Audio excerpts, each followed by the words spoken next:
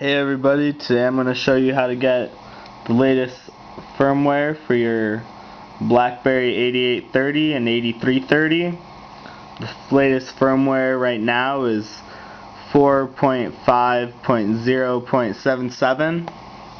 Uh, some of the cool things that you get with that is documents to go and you'll also get HTML email um, this cool Precision L theme, kind of like on the bold. Um, you also get an updated web browser and a lot more media functionality. So I'm going to show you how to get that. You're going to come over here and you're going to go to my link, which will take you to MediaFire, depending on what phone you have. You know, depends on what link you should go to. Uh, this is going to work on all CDMA carriers for the 8830 and the 8330 so Sprint, Verizon, Alltel you'll be good to go.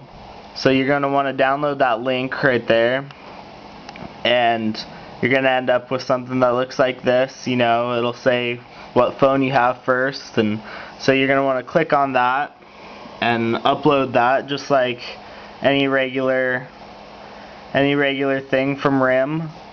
And then it's gonna all you're gonna have to do is open up open up your desktop manager after that's all done loading plug in your phone and it's gonna say updating you know checking your phone for software updates. And you're gonna want to continue through all that.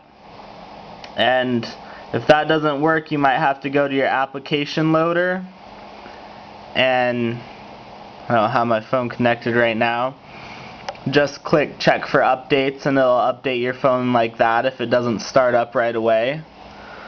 But I hope you guys really like this video and thanks for watching.